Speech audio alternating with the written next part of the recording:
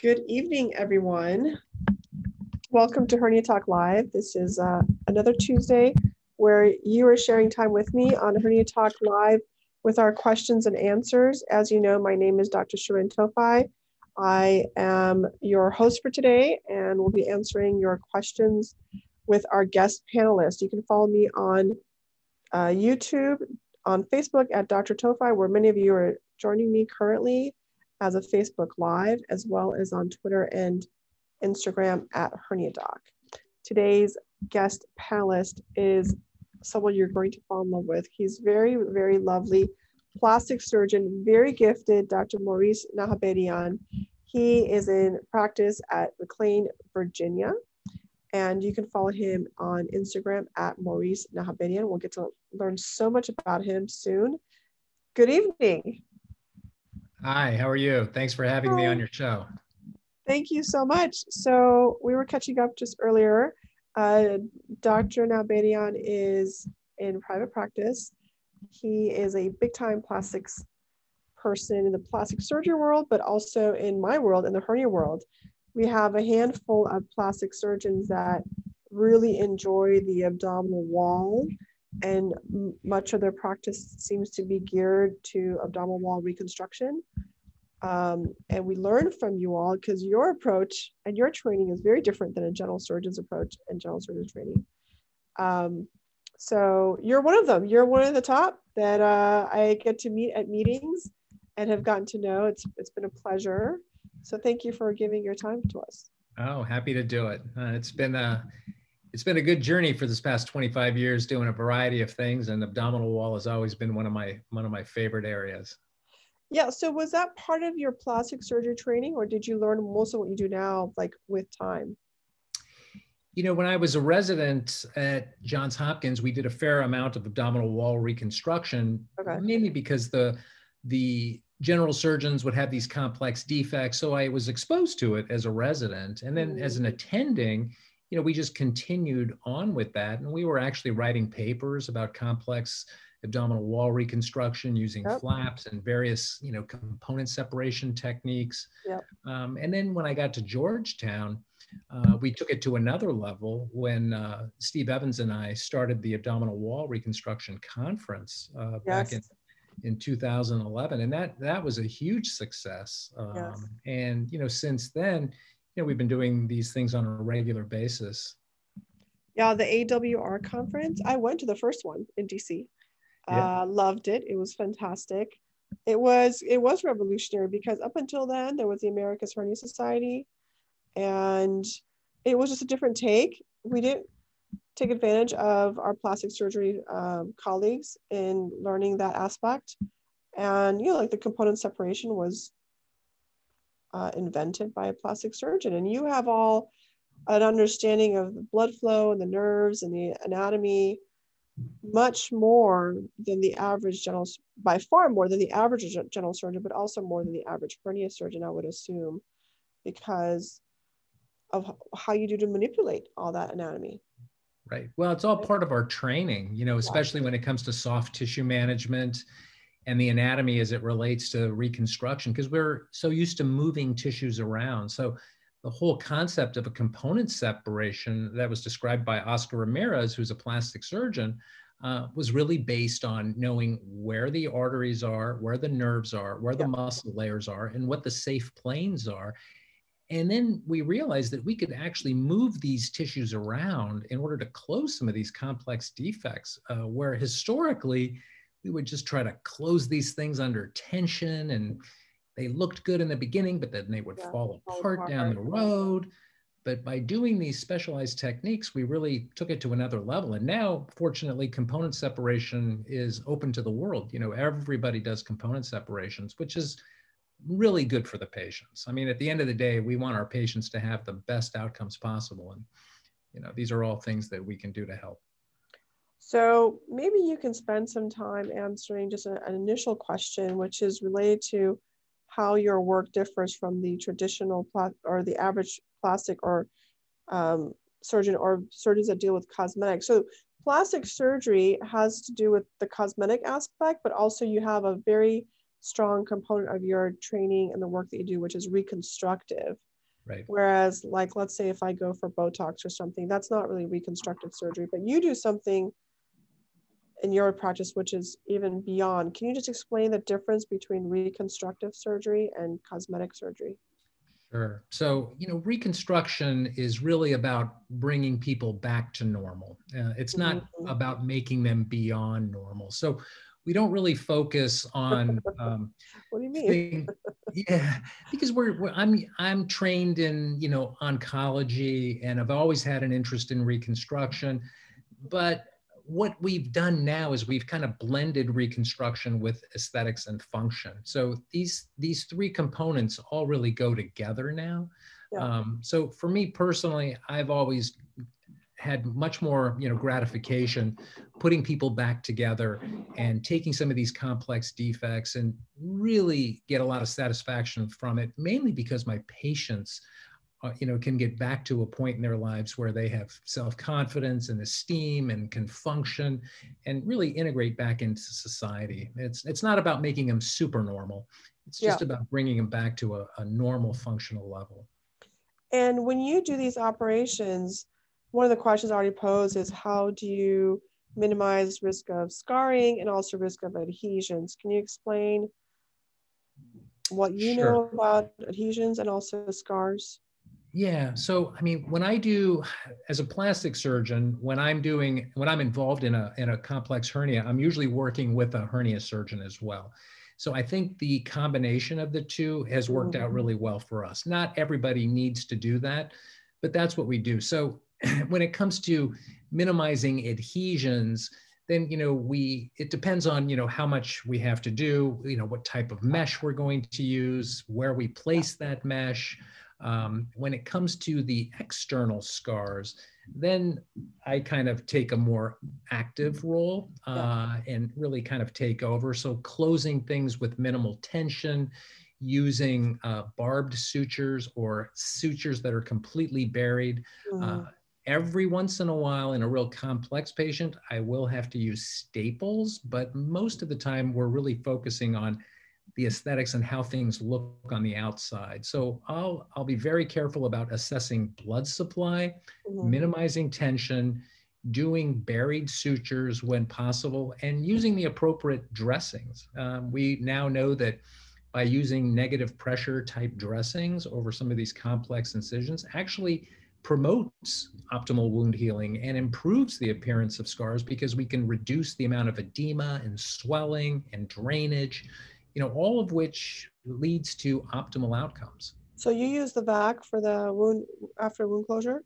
Yeah. Uh, in fact, I just put a VAC on last week on a patient who had a complex wound, uh, oh. and it, it, worked great. So, not every patient will get a VAC, but if there is, if I'm worried about fluid collection, soft tissue edema, um, maybe the blood supply isn't perfect, then I'll put a negative pressure device on the incisions just to kind of help things along.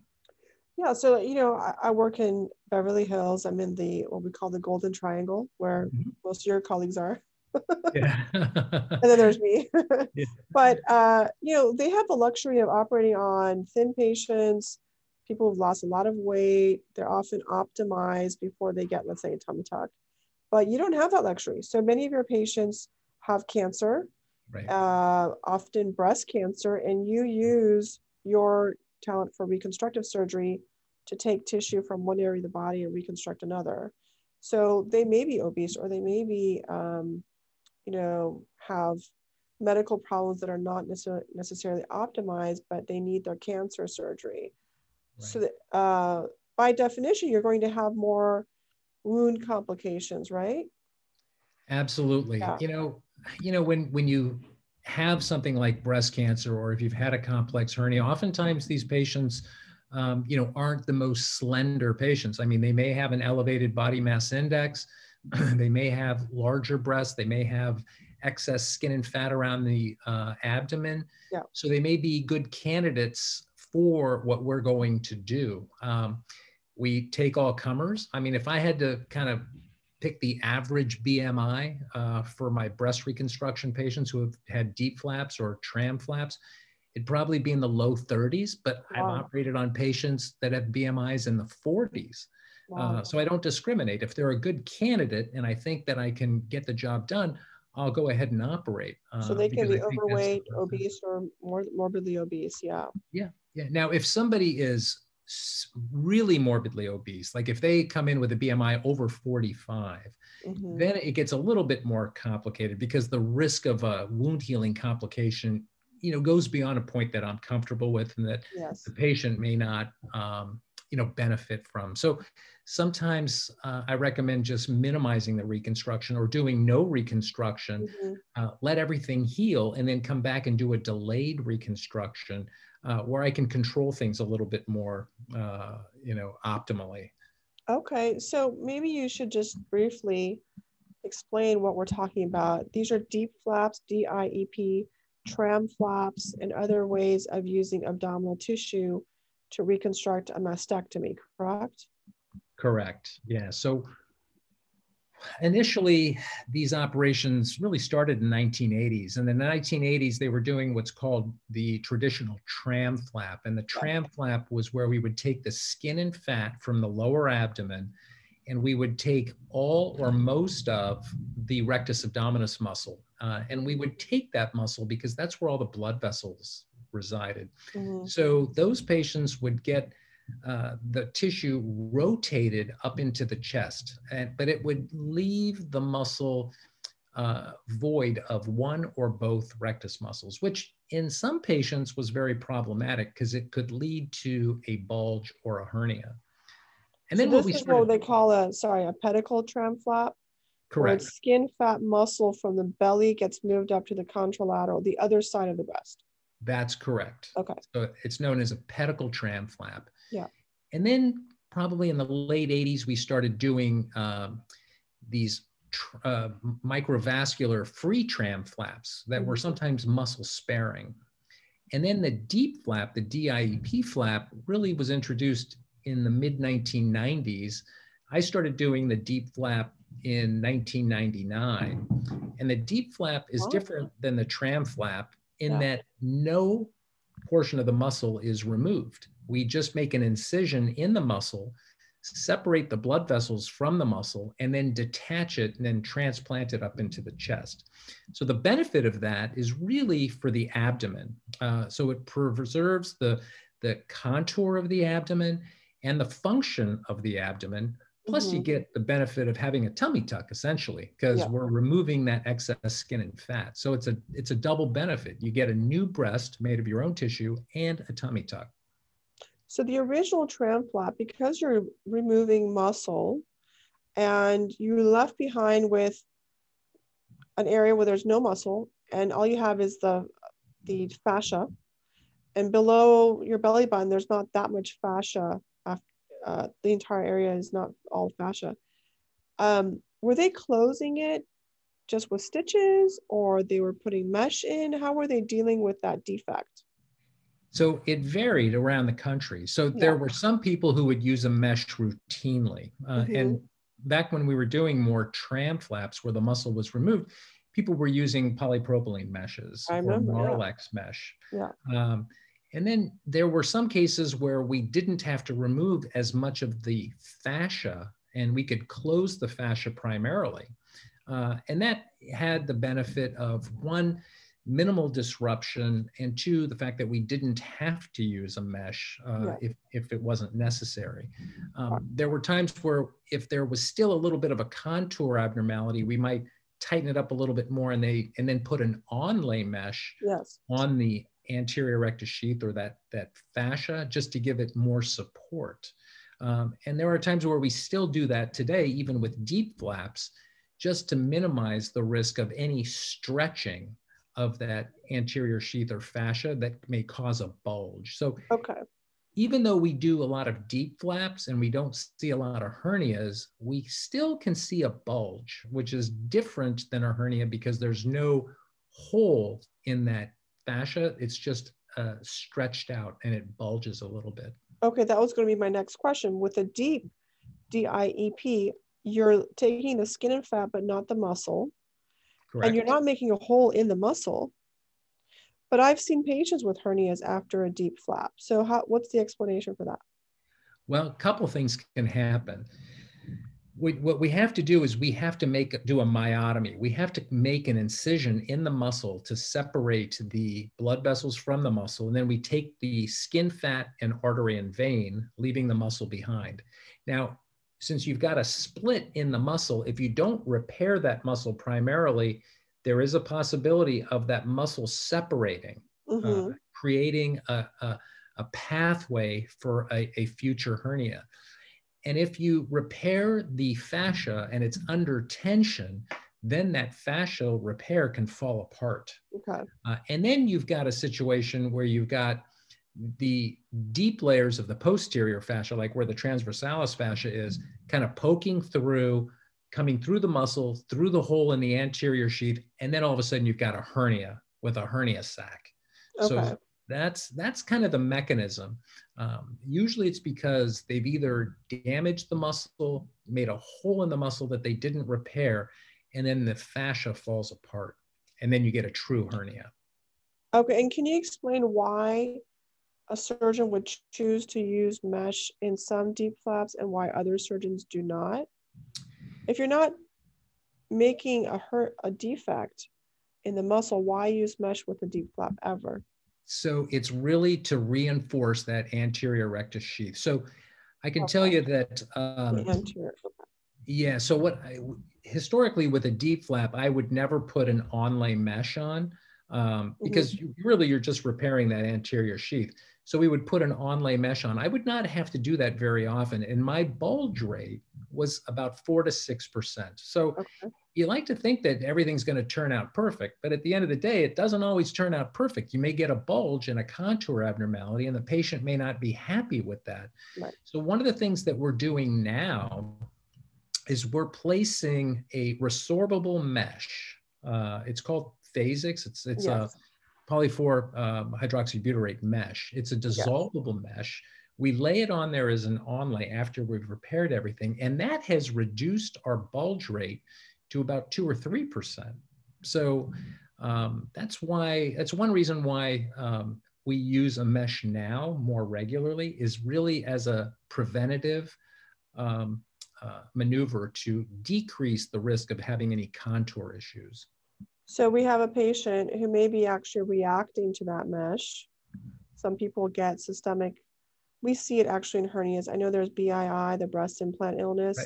Right. Um, we don't call it MII, mesh implant illness, but it, uh, it, it is a real problem that, that I treat a lot. And we're, we're researching to try and figure out if we can predict it anyway, or at least test it anyway. We haven't been successful, but um, I personally have a pretty large, relatively large number of patients that have this ASIA syndrome or Shoenfeld syndrome, which is a they have a systemic reaction to the mesh, and the only treatment is mesh removal. If this patient that has DIEP flap mesh reaction, can that mesh be safely removed and with no consequences, or do they need like a biologic or something else to reinforce? No, they wouldn't necessarily need anything to reinforce. If I had somebody who was having any sort of an issue and we thought it was yeah. related to the mesh, then I would go back and take the mesh out. Um, if they need, let's say they had, if they had a bulge uh, and we had to do something to remove the mesh, then what I might do is replace it with a biologic mesh, yeah. something that would mm-hmm. probably be less reactive. Right. Uh, but there have been situations where I've gone in and removed the mesh. Um, most of the times when that's happened, it's because of uh, an underlying infection. There might have been a little wound that started, and then the mesh gets oh, yeah. secondarily seeded, and we have to take the mesh out. Yeah. Um, but if somebody had an allergic reaction, some sort of a systemic reaction to the mesh, and that's what it was felt to be from, there was no other explanation. Then, then I would I would go in and take the mesh out, and I, I wouldn't probably put anything back in. I would just rely on the sutures right. that are holding everything together. Uh, one question is how many, or have you had any patients develop foreign body reaction from the Phasix? Um, there have been a couple of patients that have had wounds um, where a portion of the Phasix mesh got infected and I had to go back in and take the mesh out. Mm-hmm. I can tell you that the majority of patients have tolerated the Phasix mesh well. and I know it's a little bit controversial. Not everybody will place a mesh uh, into patients after this, especially since we're putting it in prophylactically. They don't really have a, a true need for it. We're just doing it as a preventative measure. Yes. Uh, but we've had we've been very fortunate in that our outcomes have been very favorable using this. Um, there are other centers. I know there are um, there's a group in North Carolina that um, have reported some additional complications because of this mesh. Mm-hmm. But I guess a lot of it is really going to depend on the patient population, some of the underlying comorbidities, yeah, the techniques used. There's so many variables that uh, you know go into determining outcomes. Yeah, we just don't know. I, in my series, I've had two patients that have had reactions to biologic mesh. Yeah. Um, like pretty significant. And one of them actually, when I replaced it with just suture, even responded to the sutures. Yeah. So, of course, very rare, not expected. And Phasix is a synthetic absorbable. So it's synthetic like mesh, but it's absorbable like biologics. So theoretically, it shouldn't be that bad, but I believe it is more inflammatory in nature than an organic biologic because it is synthetic. Um, so it has a bit more of an inflammatory response. So, you know, anything is possible. These numbers are very low, um, but, you know, we have to be diligent in patients that may be suspected to have this. I have a complicated patient for you. You ready for this one? I'm ready. okay. Uh, hi, Dr. N. In 2015, I had a true DIEP flap, no muscle removed, and SGAP flap reconstruction after breast cancer. What's SGAP?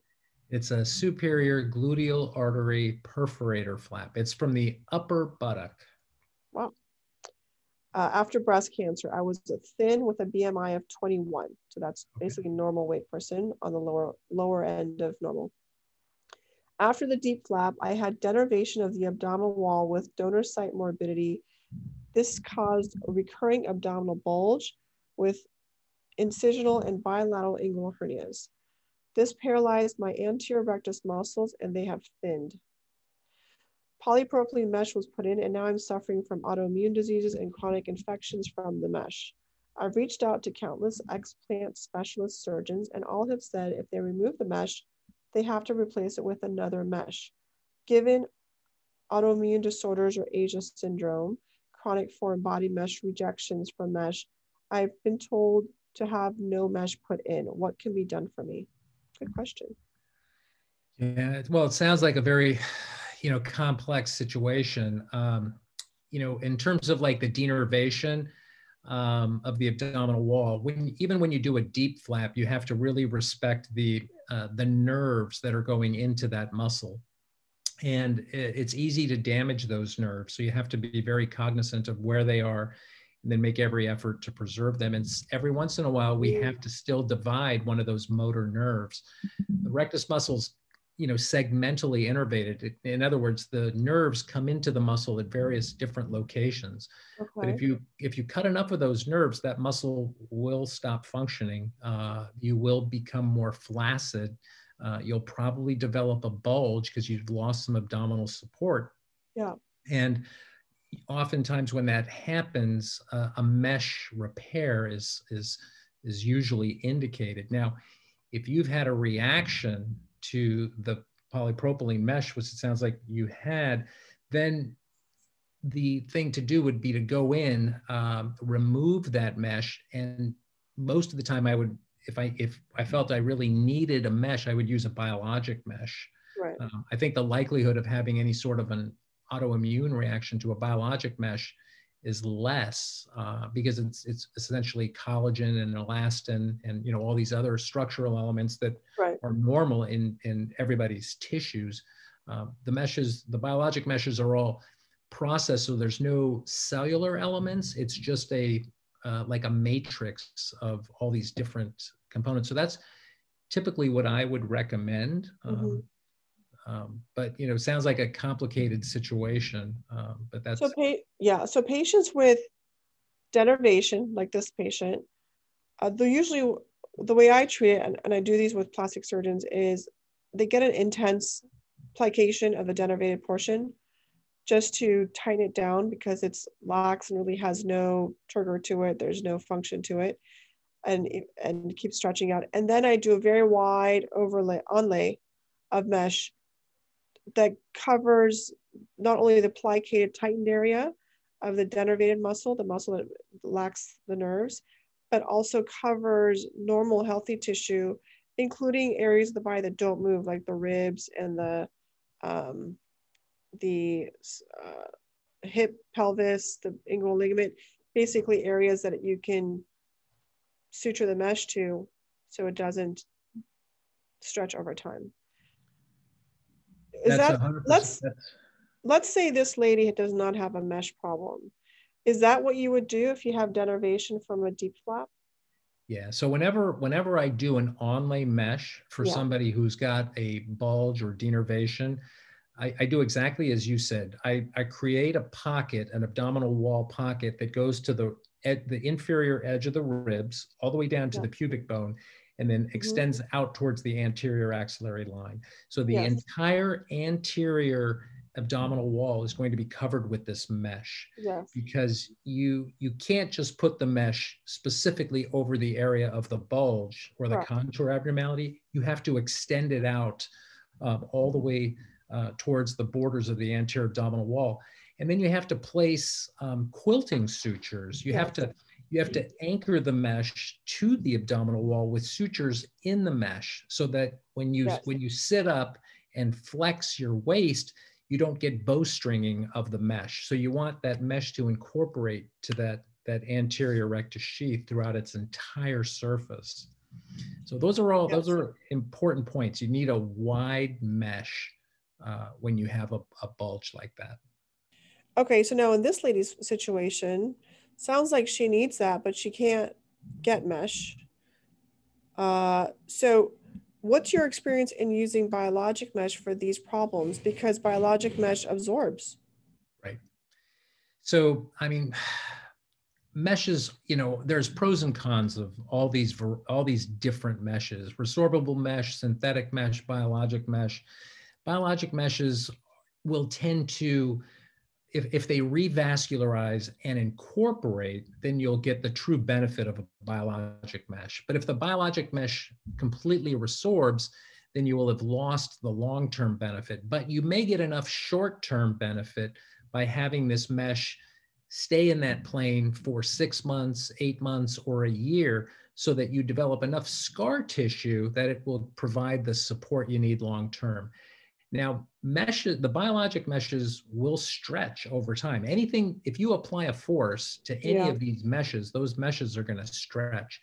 And if that intra-abdominal pressure is too high, then that mesh will stretch. And I, I've seen that, you know, in the abdominal wall when I've used just a small strip of mesh. I put in a, a 16 by 8 piece of mesh. The patient got a recurrent bulge. I went back in and that, that mesh had doubled in its size. And I took a picture of this wow, and we published it like as a case report. 25% yeah. or something like, or 50%, right? It stretched quite a bit. So um, it was a very interesting thing. And that's when I kind of realized that these biologics will stretch, you know, if given enough force. And, you know, early on in the teaching, it was that, oh, it's just all technique and they won't stretch if you're doing it right. But, you know, I did it right. I took a picture before and I took a picture after and it stretched. So, you know, no mesh is perfect. I wish we had the perfect mesh. Uh, people have thought about the perfect mesh, uh, and maybe one day it will exist. But uh, for the time being, we we're, we're, we have the tools that we have and try to make the best use of them. And there's a variety of things that we can use, and we try to individualize as much as possible to try to pick the right one for the right patient. Yeah, I pre-stretch the mesh before I put it in. Is that what you do? Yes. Now, some of the mesh, like the human meshes, you can really stretch them manually. Some of the other meshes, the bovine or the, you know the, the, the cow meshes and the and the and the um, pig meshes are much less elastic. Uh, but anytime you can, if you can pre-stretch, that's to your advantage. But even if you pre-stretch um, and then sew it in, kind of pre-stretched, and then apply a force to that mesh over time that mesh is going to continue to stretch. It's just like the concept of tissue expansion. You can put a tissue expander under the skin and stretch it and stretch it and stretch it. It's it's amazing how much stretch you can get from skin, which is what these meshes are. They're dermis, it's skin. It, it, they're elastic in nature. And which of the biologic meshes do you use? Um, I, don't know if we should, if you want me to name brands, but I use the porcine mesh. I, I, I typically would use Strattice. Um, it's the it's the biologic mesh for hernias that I have the most experience with. I've used a variety of meshes, uh, both synthetic, resorbable, and biologic. And when it comes to biologic, that's the one that I prefer. Yeah, we use um, at Cedars we have uh, Flex HD. Back back in the day, I was using Alloderm, but that which I still think is great. It just doesn't. It just stretches a lot. Um, it stretches too Flex much. Flex HD is what we have at Cedars. Yeah. I'm, I'm, not sure we really have Strattice, but I've, I, I've had good response with Flex HD. Question. All, all I have another question because right. uh, we have someone who's on on here. Um, what do you do in a patient that has abdominal wall hernias and Ehlers-Danlos syndrome? Oh, a connective tissue disorder. Yes. So she has a collagen deficit, and you can't put synthetic mesh in her. Uh, you know, Ehlers-Danlos syndrome. Uh, you have to. There's various types. Um, and I think I'm not 100% sure, but I, I think it might be the Ehlers-Danlos type 4 that is going to be the most complex. Um, and there are some patients with Ehlers-Danlos that you have to be very careful when, you know, talking to them about surgery because the last thing you want to do is make them worse off. Um, so um, if you've got certain, and I'd have to go back and review all the different classifications for Ehlers-Danlos. There are some patients with Ehlers-Danlos that you can safely operate on, some that you uh, have to be very careful um, who you operate on. Um, in terms of, you know, what I would do, would I use a mesh uh, in somebody with Ehlers? I might, it depends on the severity of the hernia. If I could plicate, and not have to worry about anything, or if I can get everything closed without tension, then I might choose to just do that um, uh, and have them wear some sort of an external device. Um, maybe use um, you know braided sutures to really get good tensile strength inside the abdomen. Um, but you know, she's a lot of failed all tissue repair. She's failed all attempts, and she's reacted to synthetic mesh. So the yeah. only option that I think she has is is like application with biologic, but I don't know how good that is if you leave a biologic as your only way, especially a patient with Ehlers-Danlos, in addition yeah. to like a tummy tuck. Well, you don't, because you don't even know what the incorporation is going to be like um, when you use a biologic. Biologic relies on incorporation. If you don't get blood supply or recellularization of a biologic, it's gonna it's just gonna basically be like a synthetic. It, it'll just be there as strong as your sutures are, and then it'll detach, and won't won't give you any support. Um, sutures um, maybe maybe the way to go, trying to avoid mesh, but again, it would be it's a tough one without kind of seeing the patient or without seeing photographs. Um, She's in your neck of the woods, so I may have her come see you. Happy to see her. Um, okay, let's see. Sorry, they started to do construction next door.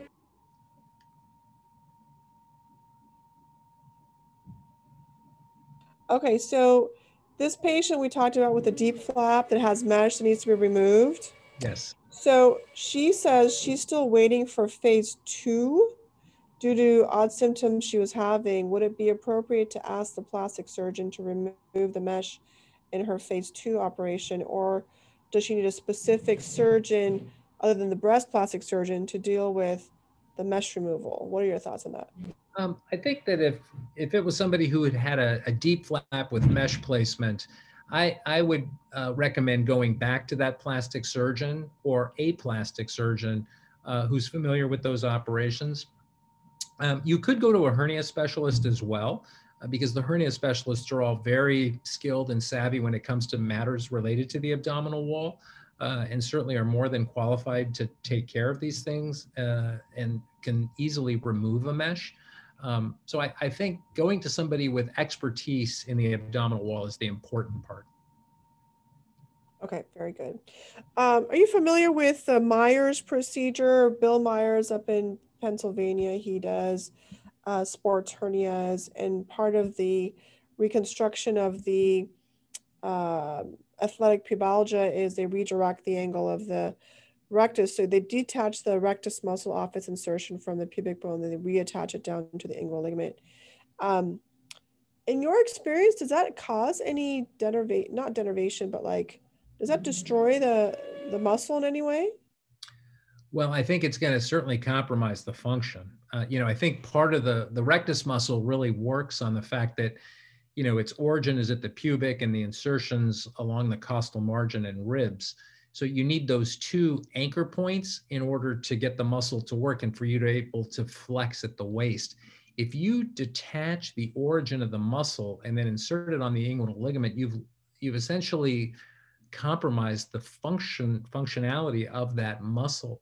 So I would think that it's going to be more difficult for somebody to do things like sit-ups and things like that. So I, I would think there's a real trade-off in a situation like that where you detach the muscle in order to repair a, a sports hernia.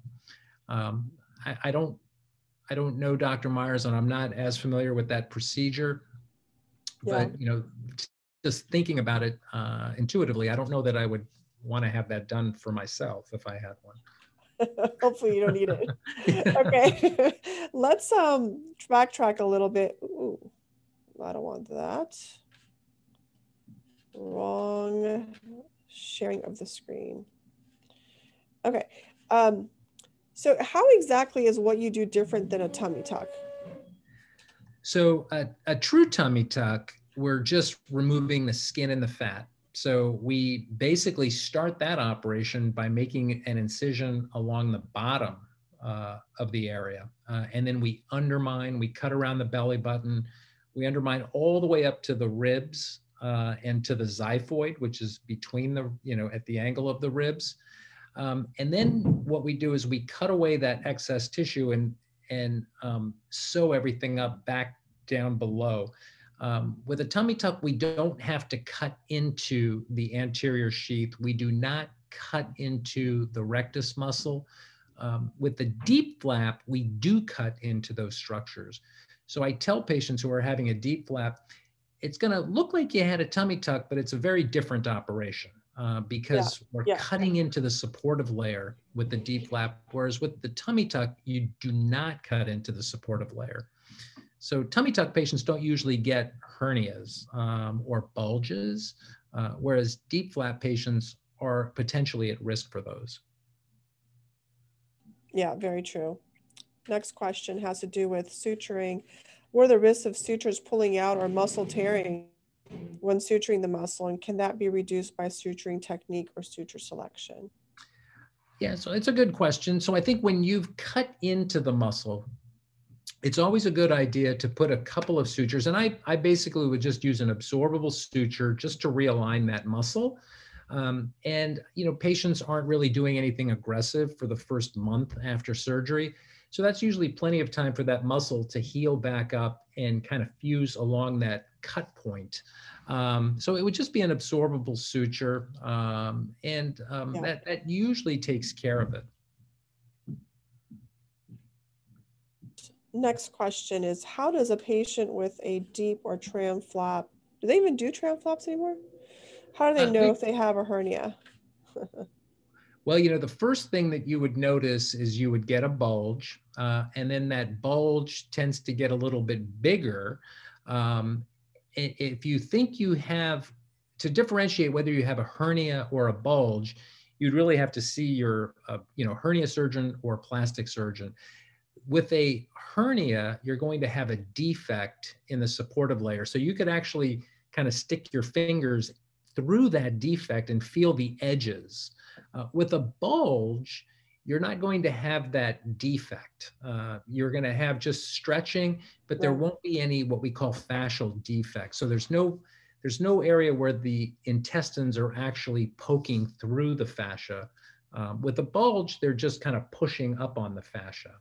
So it's really a hernia versus bulge is going to be based on physical examination. Very good. Uh, going back to the mesh reaction, do people that react to uh, synthetic mesh are also at risk for reacting to biologic mesh? I think in my experience, the reverse may be true. If you react to something as non-reactive as biologic mesh, then you'll react to a lot of things.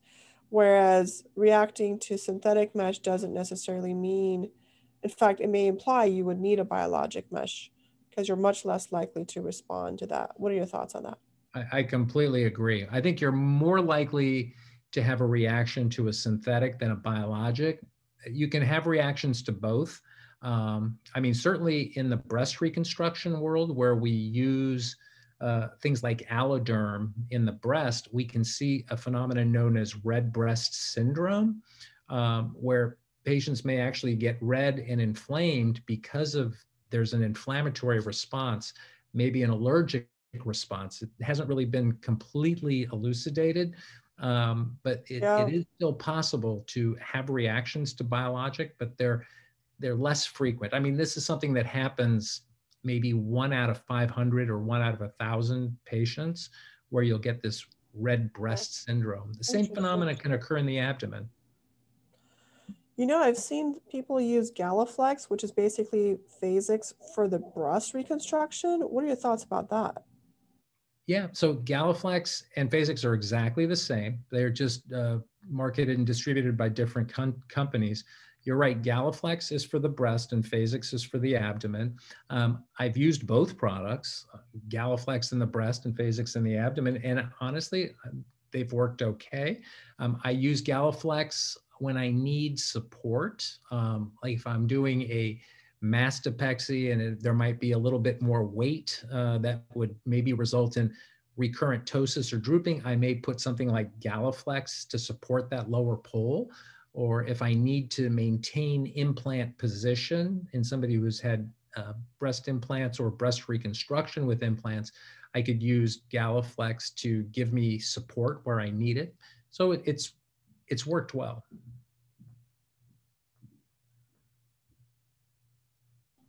Do you need to use? Oh, we already discussed that. what are your thoughts and concerns when you see a patient with a hernia after breast reconstruction flap? Because that is a complex operation now. The anatomy is very different. The reaction of the of the what you have left to deal with is different. You have less muscle, maybe a fascia problem. So when you see a patient that may have a hernia after a TRAM or DIEP flap or other reconstruction, what are your thoughts and concerns before you treat them?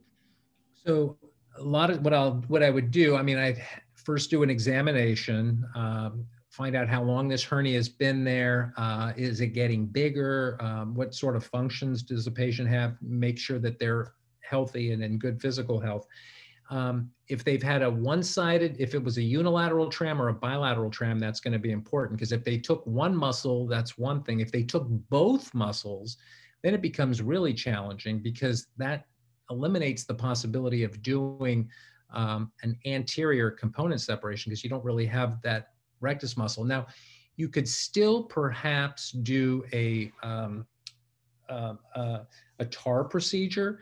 Um, I've had situations like this where we had no muscles, the skin was tight. I had to put in tissue expanders into the subcutaneous uh, space adjacent wow. to the defect, stretch the skin, but also stretch the internal muscles, and then come back uh, and move that skin around, but you have to use a mesh in these cases. It's, it'd be very difficult to repair a, a large TRAM bulge in somebody who's got no rectus abdominis muscles without using some sort of tissue rearrangement or mesh to reinforce.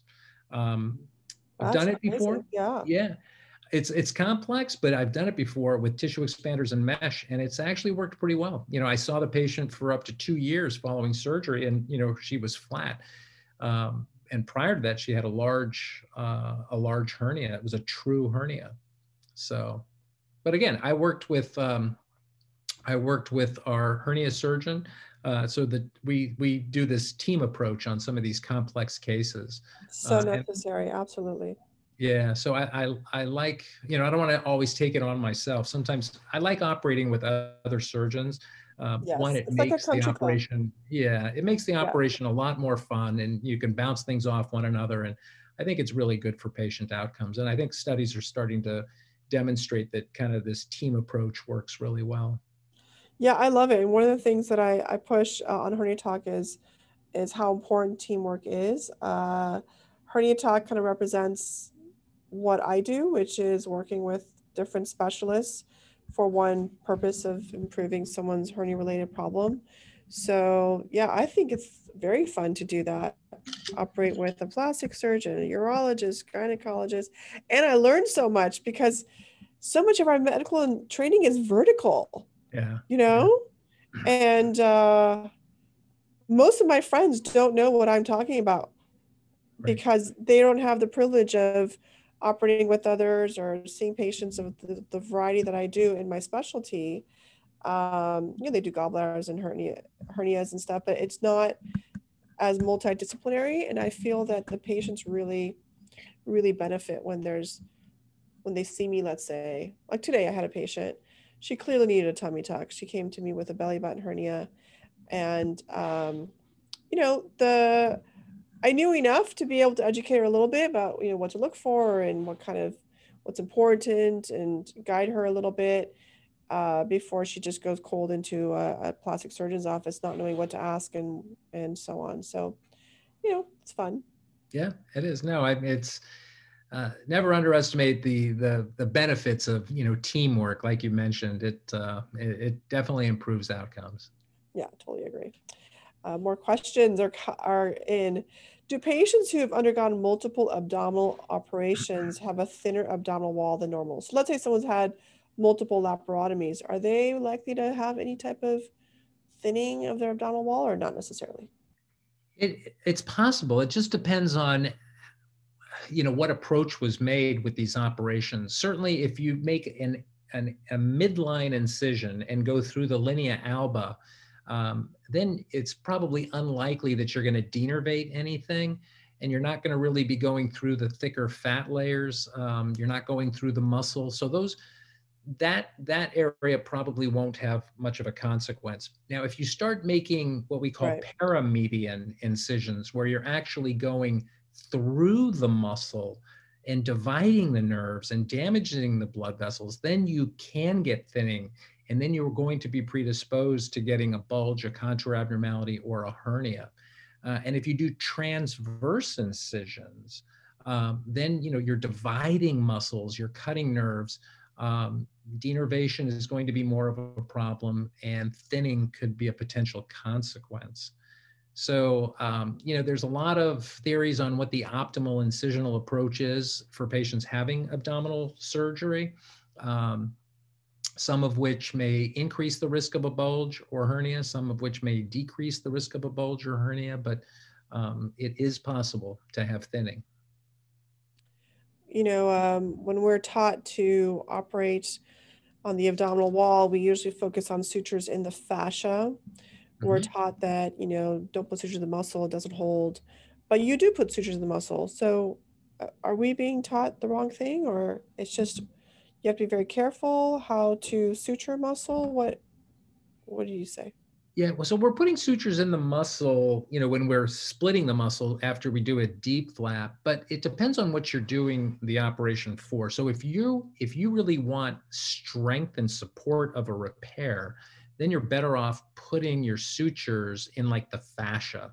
Um, so you can, you know, get good fascial um, you know bites because that's where your strength layer is. Just like your, your strength layer is going to be in the dermis it's not going to be in the fat uh, but so you really want to grab onto those areas that have you know high collagen density uh, and and tensile strength to withstand the forces that are pulling them apart.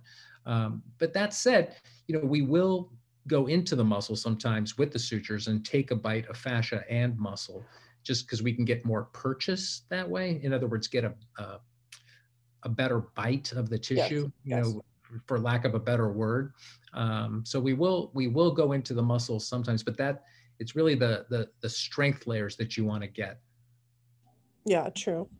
Um, when you do component separation, can you get nerve damage?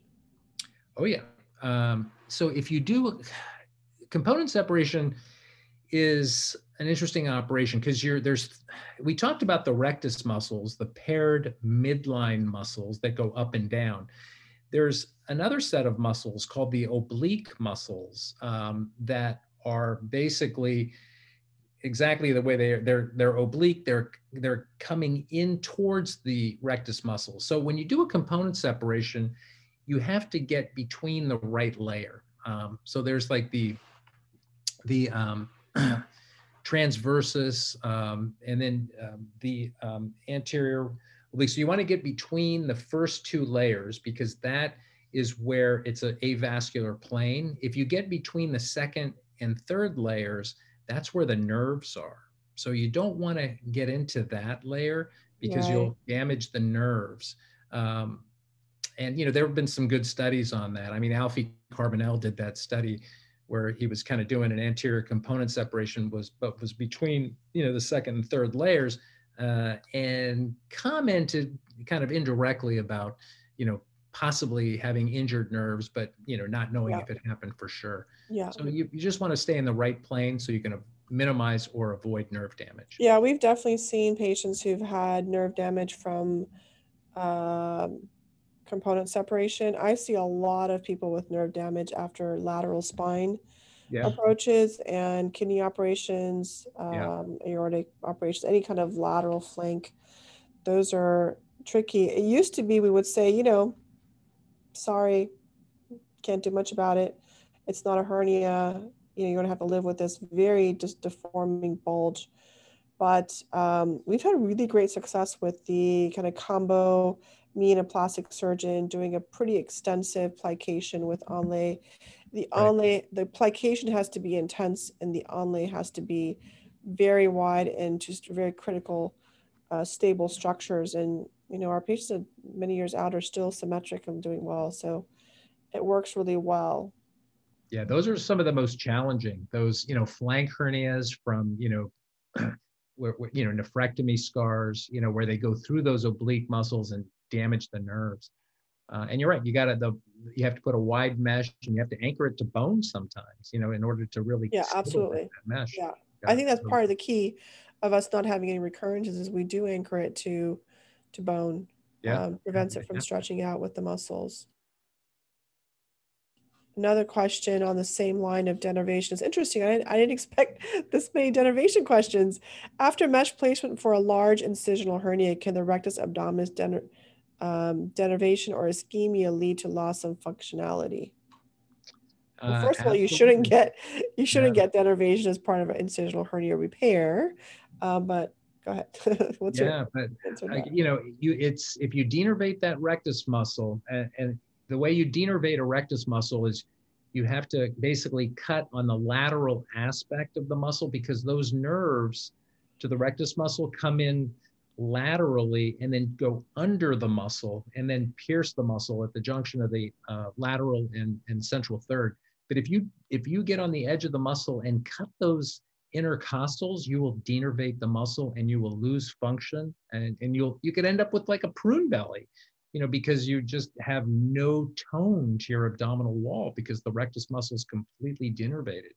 So that's so why, you, yeah, with a DIEP flap, um, you really have to be careful. You have to preserve the nerves. If you're not preserving the nerves with the DIEP flap, then you are not doing the patient a service by not taking the muscle because then you're defunctionalizing the muscle. So true. Yeah. So, and with a hernia, you know, the straightforward midline hernia, the risk of denervating the rectus muscle is probably pretty low unless you're undermining in an area where you shouldn't be undermining, like between that second and third layer of the obliques. We have another great question. Can liposuction, especially of the flanks, cause denervation?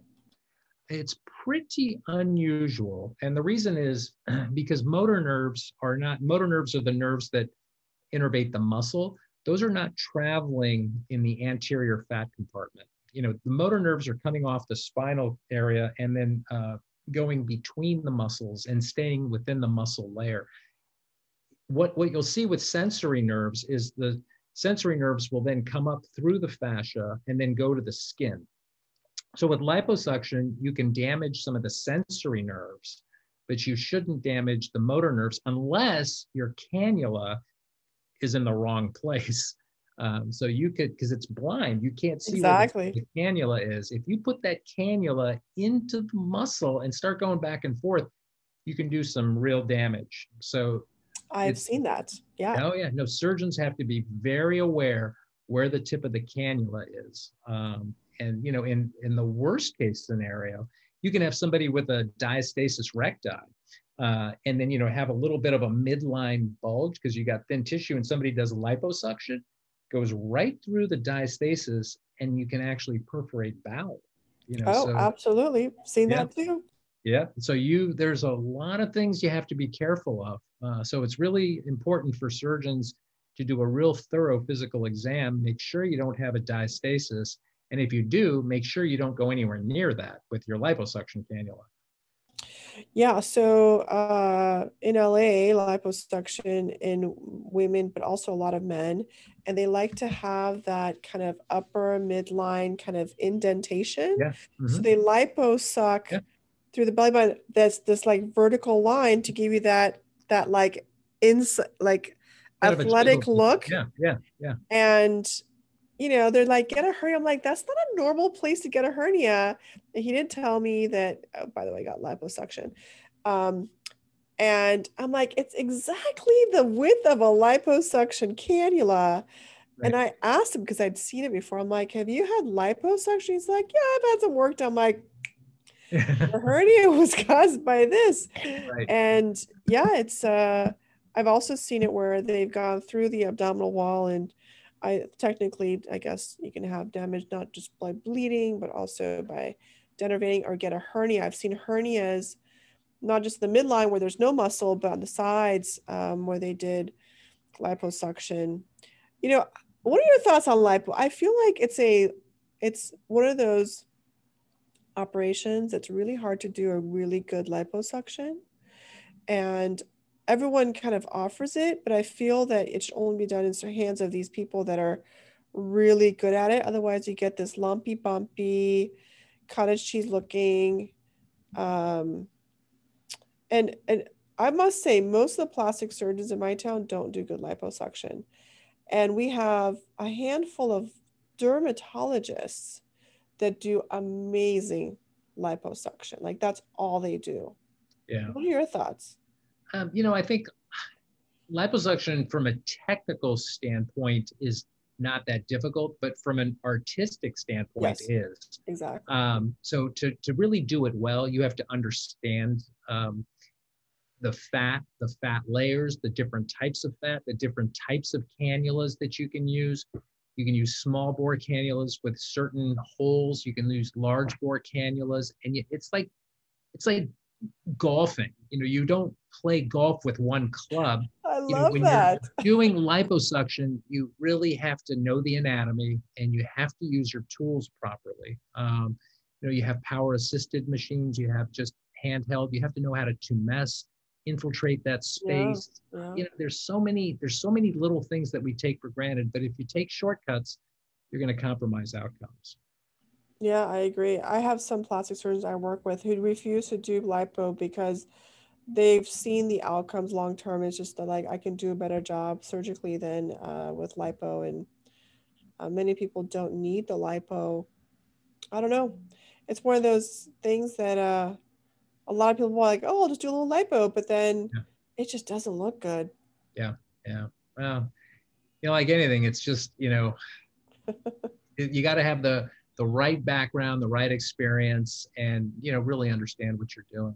And, and anybody, I mean, I've seen dermatologists do beautiful liposuction. I've seen plastic surgeons do beautiful liposuction, but I've also seen bad liposuction. So, Yeah. yeah. I feel it's like hernias. Everyone thinks that was just a hernia or just lipo. But you know, when it goes wrong, it's it's really hard to to reverse. 100% correct. Yeah. All right, my friend. Thank you so much for this. I really learned so much. I'm going to send you this one patient for sure. I think you can help her. All right. Or at least Happy give her some of your experience. Um, I wish I were there so we could operate together. Maybe I need to come there. I know. Well, one of these we'll have to set it and We'll operate together. Yeah, well, with Sha- we'll get Sharon and you know you and me. We'll have we'll have a good time with the Yeah. operating. Or I'll have Sharon do my part. We'll see. I really want to help this patient. Okay. Well, that's the end for us tonight. Thank you everyone for joining us. This wraps up another hour, another week of Hernia Talk Tuesdays. Thank you to all of you who joined us by Zoom and also Facebook Live. We answered almost all your questions tonight. Um, if you do uh, want to watch us again or share it, I'll make sure that uh, our YouTube channel is uploaded with this this webinar and I'll share all of the links on my different social media channels including Facebook at Dr. Towfigh, Instagram and Twitter at Hernia Doc. Thanks everyone and please thank you Dr. Nahabedian for your time and hope you have a good evening. Thank you so much. Thanks for having me. Thank you very Thank much. you. Take care. Bye bye, everyone. Bye.